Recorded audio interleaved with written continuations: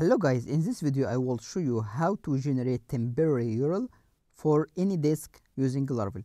As you can see here, I am using local as my default disk in my project and here in my method I define this method to temporary or to generate a temporary URL for this image here, right, in my storage, this one, and this file will be valid for maybe 10 seconds, right.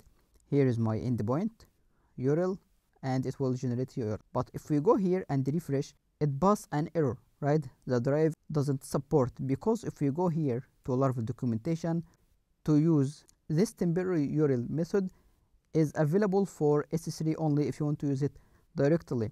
But Laravel here defines a way to define your temporary URL for any disk you want right? So the solution is easy. Go to any service provider here app service provider and we will define our method like that. Here our disk you want to create temporary url for and using this method build temporary url using a take closure right? With the path of file and expiration when will it be expired and also the extra options you want. And using url temporary signed route here in this documentation right?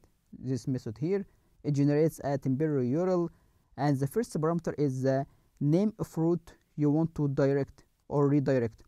For example here I will pass the path of URL right? And after passing this URL it will go to download route. So we need to define another route also.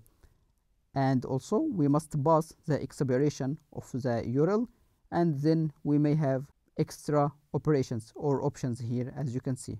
We also passed the path here right?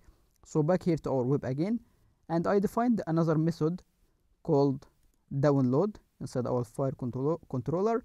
And here I am downloading the file right? So back again. And here is our web our route name. Here let me show it quickly.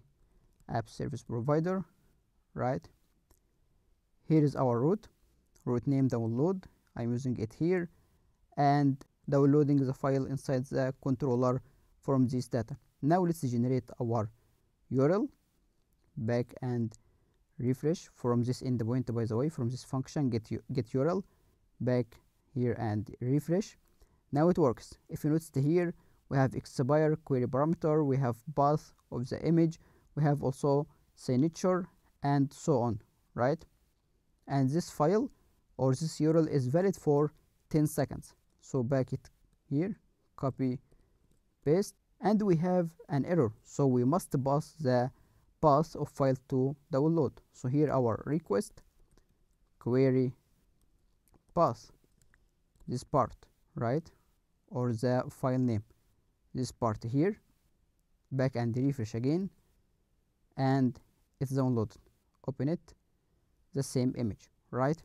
But if you notice here the time has expired more than 10 seconds let's show it quickly here in our code and I will say generate a URL and it will expire after two seconds or even one second right?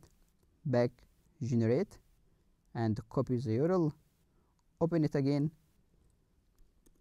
and it will continue working. So how to validate the signature?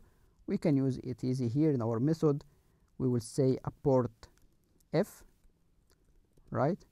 Request validate or valid has valid signature right? If, if it's not valid then say 404 back again here refresh. Now we have 404 because it expires after one second. Here's quickly how to set your custom temporary for any disk you want on Laravel.